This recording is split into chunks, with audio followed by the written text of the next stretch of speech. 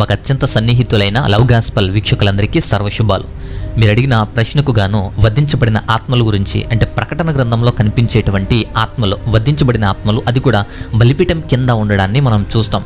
ఆ విషయాన్ని ఈ వీడియోలో పరిపూర్ణంగా అర్థం చేసుకోవడానికి ప్రయత్నం చేద్దాం. పూర్తిగా చూడండి. అప్పటి మీకు పూర్తి అవగాహన వస్తుంది. ప్రకటన గ్రంథం ఆరవ అధ్యాయం తొమ్మిదో వాక్యంలో వధించబడిన వారి ఆత్మలను బలిపీఠం కింద చూసి తిని అని ఒక వాక్యం కనబడుద్ది.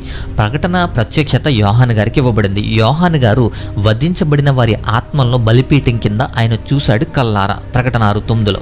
ఈ సంభవం ఎప్పుడు జరిగింది అంటే ప్రకటన గ్రంథం ఆరో అధ్యాయం అంతా ఏడు ముద్రల గురించి మాట్లాడే సందర్భం అది. మరి ఈ సందర్భం మాత్రం ఐదవ ముద్ర ఐదవ ముద్ర విప్పినప్పుడు జరుగుతుంది.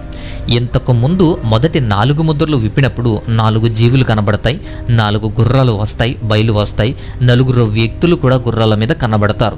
ఐదవ ముద్ర నుంచి మాత్రం గుర్రాలు అనేవి ఉండవు జీవులను పిలవడం అనేది ఉండదు. సో ఐదవ ముద్ర విప్పేటప్పుడు బలిపీఠము క్రింద ఆత్మలు మాట్లాడతాయి ఆత్మలు ఉంటాయి కనబడ్డాయి మాట్లాడతాయి. మరి ఈ ఆత్మలు ఎవరివి అంటే మొట్టమొదటిగా మనం గమనించేది ఈ ఆత్మలు ఎవరు? ఈ ఆత్మలు ఎవరివి అనేది గమనిద్దాం. ఆ తర్వాత ఈ ఆత్మలకున్న ప్రత్యేకత ఏంటి? ఎందుకు బలిపీఠం క్రింద ఉన్నాయి? పైగా దేవుని దగ్గర ఉండే బలిపీఠం క్రిందే ఆత్మలు ఎందుకున్నాయి? ఆత్మల తర్వాత ఎవరికి ప్రార్థన చేస్తున్నాయి? ఎందుకు అక్కడ ఉన్నాయి ఎందుకు మాట్లాడుతున్నాయి? వారికి అంత ప్రత్యేకత ఏంటి? ఇవన్నీ కూడా మనం చూద్దాం. సో మొట్టమొదటి ప్రశ్నగా దీంట్లో ఏంటంటే అసలు వారు ఎవరు?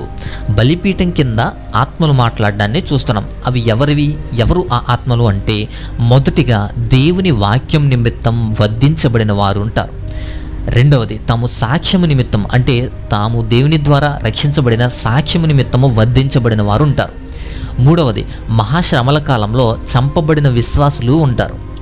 నాలుగవది నొసల ఎందు కానీ చేతి ఎందు కానీ క్రీస్తు విరోధి యొక్క ముద్ర వేయించుకోకుండా బ్రతకగలిగిన వారు ఉంటారు ప్రకటన ఇరవయో అధ్యాయం నాలుగో వాక్యం ప్రకారం.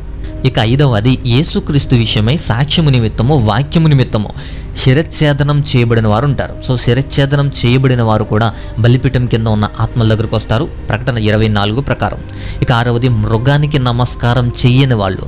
అంటే మృగానికి నమస్కారం చేయని వారిని క్రూరమృగం చంపేస్తుంది. అలా చనిపోయినటువంటి వారు అంటే మృగానికి నమస్కారం చేయకుండా చనిపోయిన వారు ఉంటారు. ప్రకటన పదమూడు పదిహేను ప్రకారం.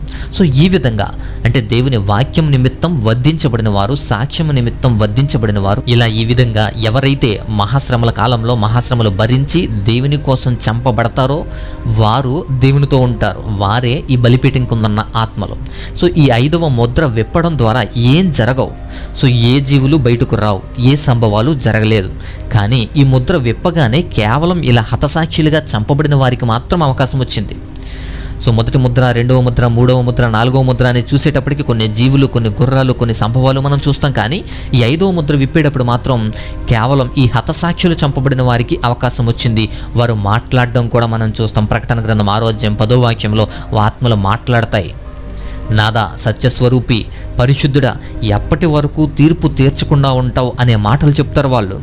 మా రక్తము నిమిత్తము భూనివాసులకు ప్రతిదండన చేయక ఉంటావు అని మాట్లాడతారు వాళ్ళు. అంటే దేవునికి ఈ విజ్ఞాపన చేస్తున్నారు. ఎవరి గురించి మాట్లాడుతున్నారంటే దేవునికి మొర పెట్టుకుంటున్నారు.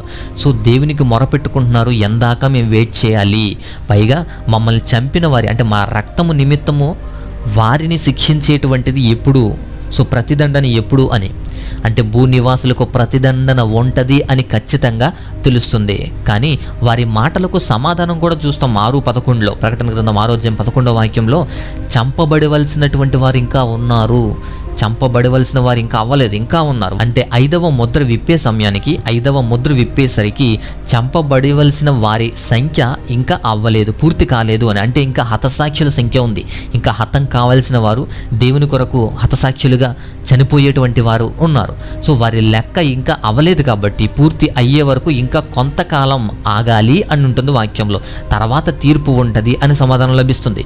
ఇంకా హతసాక్షులు పూర్తి కాలేదు ఇంకా ఉన్నారు. వీరి లెక్క పూర్తి పూర్తయిన వెంటనే అప్పుడు తీర్పు జరుగుద్ది. వారు ఎలా ఉంటారు? సో వారి ప్రత్యేకత ఏంటి? అసలు బలిపీఠం కింద ఉన్నటువంటి ఈ ఆత్మలు వీళ్ళు ఎవరు అనేది మనం చూసాం. ఎవరికి ప్రార్థన చేస్తున్నారో చూసాం. వారు ఎందుకు ప్రార్థన చేస్తున్నారో చూసాం. అయితే ఇప్పుడు వారు ఎలా ఉంటారు అనేది కూడా చూస్తే వస్త్రాలు లేకుండా ఉంటారు అనుకుంటారు ఆత్మల విషయంలో. కానీ ఇక్కడ తెల్లని వస్త్రాలు ప్రతి ఒక్కరికి ఇవ్వబడ్డాయి. ప్రకటన గ్రంథం ఆరోగ్యం పదకొండవ వాక్యం. బలిపీఠం కింద ఉన్న ఈ ఆత్మలకు తెల్లని వస్త్రాలు ప్రతి ఒక్కరికి బహుమానంగా ఇవ్వబడ్డాయి. శ్రమలలో వారిని పరిశుద్ధతను కాపాడుకున్నందుకు ఈ తెల్లని వస్త్రాలు ఇవ్వటం జరుగుద్ది. పరిశుద్ధతకు గుర్తుగా ఇవ్వబడినవే ఇవి.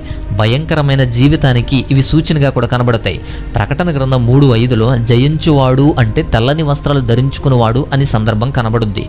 అందుకే జయించువారుని ఈ విధంగా పరిశుద్ధ గుర్తుగా తెల్లని వస్త్రాలు బహుమతిగా ఇవ్వబడతాయి. ఇలాంటి జయకరమైన జీవితం ద్వారా మరణించిన వారికి తెల్లని వస్త్రాలు ఇస్తారు. జీవ గ్రంథంలో వారి పేరు కూడా తీయరు. ప్రకటన గ్రంథం మూడో అధ్యాయం ఐదో వాక్యం ప్రకారం. అంతేకాకుండా జీవ గ్రంథంలో వారి పేరు కూడా తీయరు. సో వారి పేరు కూడా తొలగించే ప్రయత్నం ఉండదు. యేసుక్రీస్తు వారు తండ్రి ఎదుట దోతల ఎదుట కూడా వీళ్ళ పేరును ఒప్పుకుంటారు కూడా. సో తెల్లని వస్త్రాలు ఇవ్వటం జీవగ్రంథంలో పేరు తీయకుండా కాపాడుకోవడం అలాగే యేసుక్రీస్తు వారు వీళ్ళని తండ్రి ఎదుట దోతల ఎదుట అందరి ఎదుట కూడా ఒప్పుకుంటారు. వీళ్ళ గురించి అంత ధన్యత వస్తుంది.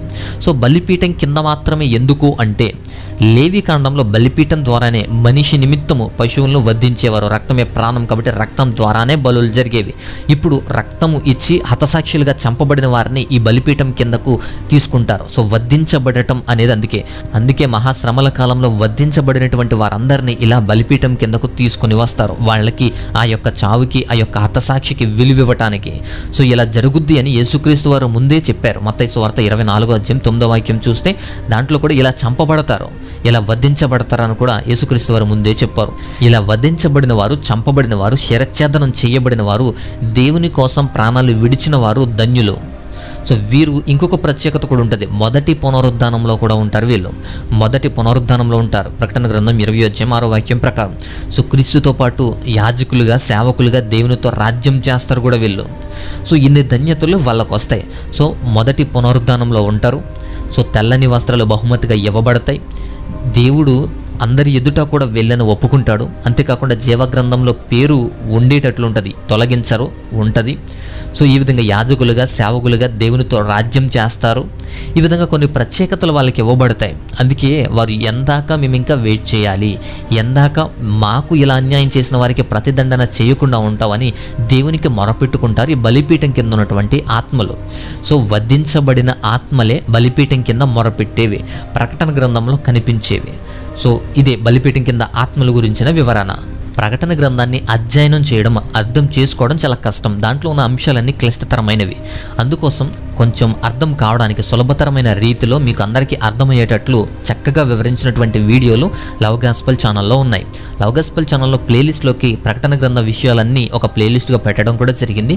అంతేకాకుండా వీడియోల రూపంలో అన్నీ ఇచ్చాం. కాబట్టి లౌగస్పల్ ఛానల్లో చూసి ప్రకటన గ్రంథంలో ప్రతి అంశాన్ని ప్రతి టాపిక్ అధ్యాయంలో ఉన్న ప్రతి టాపిక్ని సులభతరమైన రీతిలో మీకు అందించడం జరిగింది. అవన్నీ చూసి అర్థం చేసుకొని పరిపూర్ణమైన వాక్య అవగాహన తెలుసుకుంటారని మీకు అందరికీ మరొకసారి గుర్తు చేస్తున్నాను.